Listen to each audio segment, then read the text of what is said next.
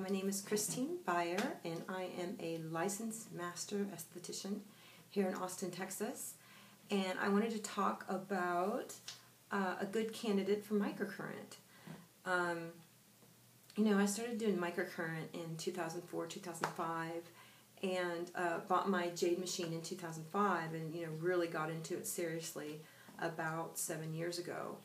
And I've done a lot of faces since then, and I have decided that who's a good candidate for microcurrent? Everybody.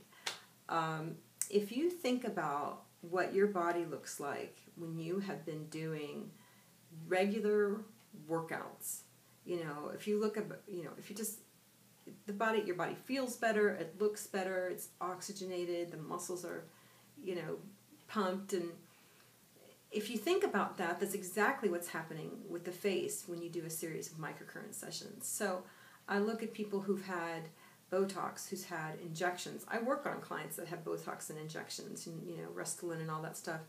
And um, it is not contraindicated. I know how to work around the area, so that's not an issue. But I look at people who've had even facelifts, and I'm looking at them, and I'm like, I can make their face look better. Microcurrent makes everybody's face look better.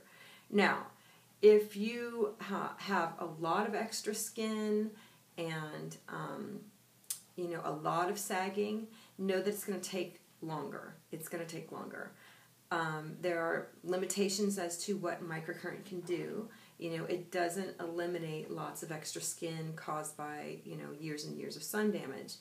Uh, really, the only thing that can do that is a facelift. But uh, I still have clients like that that look better, you know, after a good microcurrent section, session because, you know, microcurrent lifts the cheeks, it lifts the neck, it lifts the eyebrows. And who doesn't look better when all that is lifted?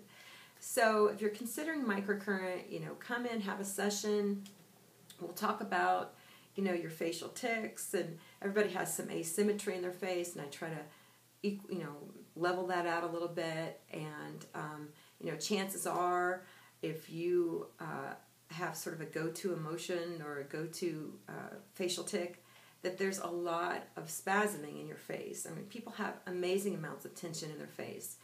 And so you know my machine is special in that it helps release that while it um, helps build up mu- muscle fibers. So um, there's a lot in microcurrent. I mean, there and there's a lot of people getting into it. So you really have to choose your microcurrent professional wisely because uh, there's a lot of bad education out there, and there's a lot. There's just not a lot of education out there, and so um, I've had to seek it out myself, and I've had to perfect my method over the years.